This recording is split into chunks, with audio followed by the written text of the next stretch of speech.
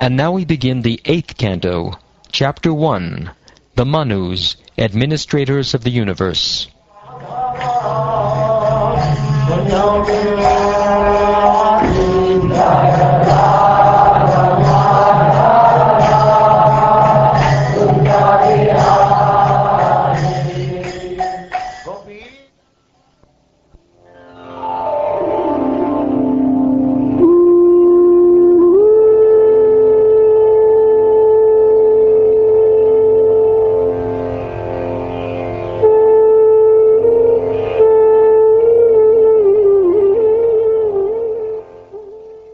King Pariksit said, O my lord, my spiritual master, now I have fully heard from your grace about the dynasty of Swayambhuva Manu.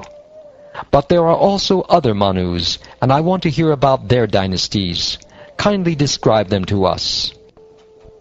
O learned Brahmin, Shukdev Goswami, the great learned persons, who are completely intelligent, describe the activities and appearance of the Supreme Personality of Godhead during the various Manvan. Eager to hear about these narrations. Kindly describe them. O learned Brahman, kindly describe to us whatever activities the Supreme Personality of Godhead, who created this cosmic manifestation, has performed in the past Manvantaras, is performing at present, and will perform in the future Manvantaras. Shukdev Goswami said, In the present Kalpa, there have already been six Manus. I have described to you Swayambhuva Manu and the appearance of many demigods. In this Kalpa of Brahma, Swayambhuva is the first Manu. Swayambhuva Manu had two daughters named Akuti and Devahuti. From their wombs, the Supreme Personality of Godhead appeared as two sons named Yagyamurti and Kapila, respectively. These sons were entrusted with preaching about religion and knowledge. O best of the Kurus, I have already described in the third canto the activities of Kapila, the son of Devahuti. Now I shall describe the activities of Yagyapati, the son of Akuti. Swayambhuva Manu, the husband of Shatarupa, was by nature not at all attached to enjoyment of the senses. Thus he gave up his kingdom of sense enjoyment and entered the forest with his wife to practice austerities. O scion of Bharat, after Swayambhuva Manu had thus entered the forest with his wife, he stood on one leg on the bank of the river Sunanda, and in this way, with only one leg touching the earth, he performed great austerities for one hundred years. While performing these austerities, he spoke as follows. Lord Manu said, The Supreme Living Being has created this material world of animation. It is not that he was created by this material world. When everything is silent, the Supreme Being stays awake as a witness. The living entity does not know him, but he knows everything. Within this universe, the Supreme Personality of Godhead, in his Supersoul feature, is present everywhere, wherever there are animate or inanimate beings. Therefore, one should accept only that which is allotted to him. One should not desire to infringe upon the property of others. Although the Supreme Personality of Godhead constantly watches the activities of the world, no one sees Him. However, one should not think that because no one sees Him, He does not see, for His power to see is never diminished. Therefore, everyone should worship the Supersoul, who always stays with the individual soul as a friend. The Supreme Personality of Godhead has no beginning, no end, and no middle. Nor does he belong to a particular person or nation. He has no inside or outside. The dualities found within this material world, such as beginning and end, mine and theirs, are all absent from the personality of the Supreme Lord. The universe, which emanates from him, is another feature of the Lord. Therefore the Supreme Lord is the ultimate truth, and he is complete in greatness.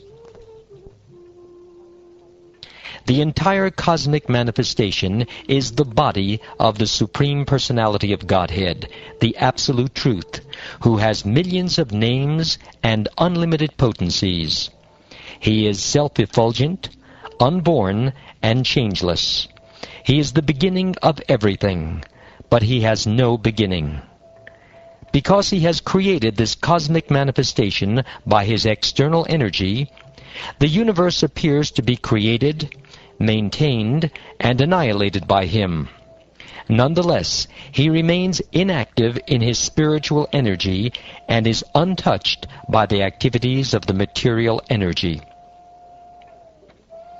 Therefore, to enable people to reach the stage of activities that are not tinged by fruitive results, great saints first engage people in fruitive activities. For unless one begins by performing activities as recommended in the Shastras, one cannot reach the stage of liberation, or activities that produce no reactions. The Supreme Personality of Godhead is full in opulence by his own gain. Yet he acts as the creator, maintainer, and annihilator of this material world. In spite of acting in that way, he is never entangled. Hence devotees who follow in his footsteps are also never entangled. The Supreme Personality of Godhead, Krishna, works just like an ordinary human being, yet he does not desire to enjoy the fruits of work.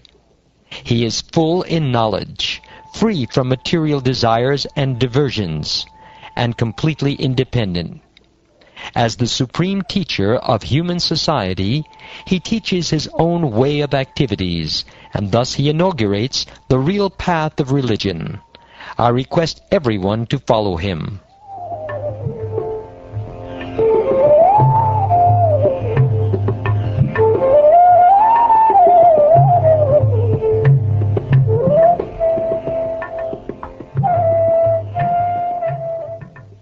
Shukdev Goswami continued. Swayambhuva Manu was thus in a trance, chanting the mantras of Vedic instruction known as the Upanishads. Upon seeing him, the Rakshasas and Asuras, being very hungry, wanted to devour him. Therefore they ran after him with great speed. The Supreme Lord, Vishnu, who sits in everyone's heart, appearing as Yagyapati, observed that the Rakshasas and demons were going to devour Swayambhuva Manu. Thus the Lord, accompanied by his sons, named the Yamas, and by all the other demigods, killed the demons and Rakshasas. He then took the post of Indra and began to rule the heavenly kingdom. The son of Agni, named Svarochisha, became the second Manu. His several sons were headed by Dyumat, Sushena, and Rochishmat. During the reign of Svarochisha, the post of Indra was assumed by Rochana, the son of Yagya. Tushita and others became the principal demigods, and Urja, Stamba, and others became the seven saints. All of them were faithful devotees of the Lord. Vedashira was a very celebrated rishi. From the womb of his wife, whose name was Tushita, came the avatar named Vibhu. Vibhu remained a brahmachari and never married throughout his life. From him, 88,000 other saintly persons took lessons on self-control, austerity, and similar behavior. O king, the third Manu, Uttama, was the son of King Priyavrata. Among the sons of this Manu were Pavana, Srinjaya, and Yagyahotra. During the reign of the third Manu, Pramada and other sons of Vashishta became the seven sages. The Satyas, Vedashrutas, and Bhadras became demigods, and Satyajit was selected to be Indra, the king of heaven. In this Manvantara, the Supreme Personality of Godhead appeared from the womb of Sunrita, who was the wife of Dharma, the demigod in charge of religion. The Lord was celebrated as Satyasena, and he appeared with other demigods known as the Satyavratas. Satyasena, along with his friend Satyajit, who was the king of heaven, Indra, killed all the untruthful, impious, and misbehaved yakshas, rakshasas, and ghostly living entities who gave pains to other living beings. The brother of the third Manu, Uttama, was celebrated by the name Tamasa, and he became the fourth Manu. Tamasa had ten sons headed by Prithu, Khyati, Nara, and Ketu. During the reign of Tamasa Manu, among the demigods were the Satyakas, Haris, and Viras. The heavenly king, Indra, was Trishikha. The sages in Saptarshi Dham were headed by Jyotir Dham. O king, in the Tamasa Manvantara, the sons of Vidriti, who were known as the Vaidritis, also became demigods. Since in course of time the Vedic authority was lost, these demigods, by their own powers, protected the Vedic authority. Also in this Manvantara, the Supreme Lord, Vishnu, took birth from the womb of Harini, the wife of Harimedha, and he was known as Hari. Hari saved his devotee Gajendra, the king of the elephants, from the mouth of a crocodile. King Parikshit said, My lord, Badarayani, we wish to hear from you in detail how the king of the elephants, when attacked by a crocodile, was delivered by Hari. Any literature or narration in which the Supreme Personality of Godhead, Uttamashloka, is described and glorified is certainly great, pure, glorious, auspicious, and all good.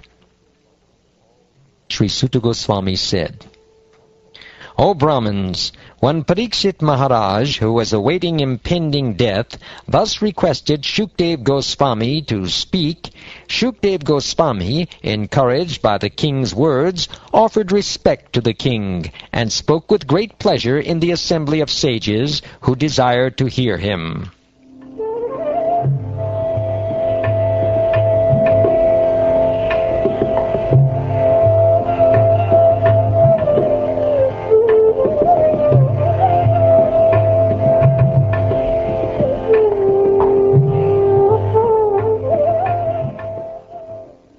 Thus ends the first chapter of the eighth canto of the Srimad Bhagavatam entitled The Manus, Administrators of the Universe.